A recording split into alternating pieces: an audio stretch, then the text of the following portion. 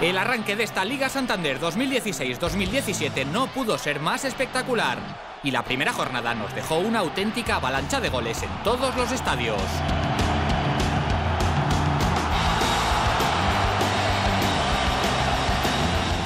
Un total de 40 dianas y hasta 32 goleadores distintos fueron las demoledoras cifras de esta primera fecha del campeonato, lo que supone el mejor inicio de liga en este apartado de los últimos 20 años.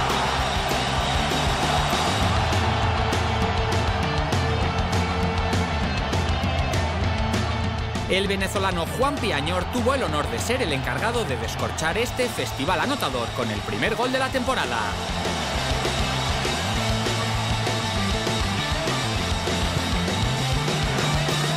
Pero la locura llegaría especialmente en el Sánchez Pizjuán, con el trepidante 6 a 4 que nos regalaron Sevilla y Español.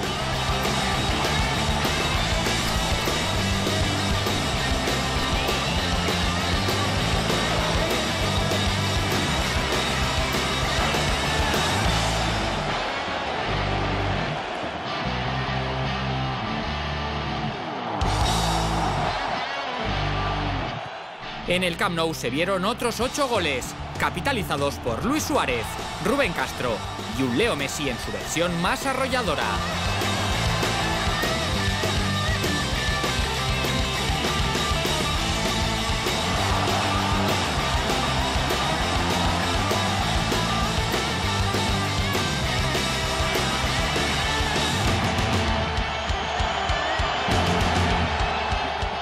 Y en el Valencia Las Palmas se marcaron seis, destacando los dos del croata Marco Libaya.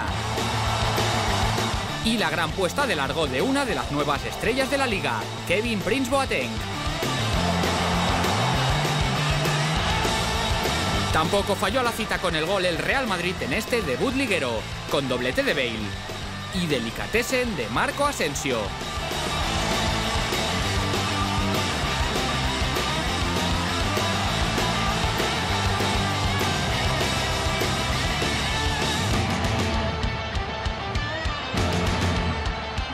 Y mientras Barça y Madrid ganaban, el Atlético pinchó en casa por culpa de este golazo de Manu García en el minuto 95.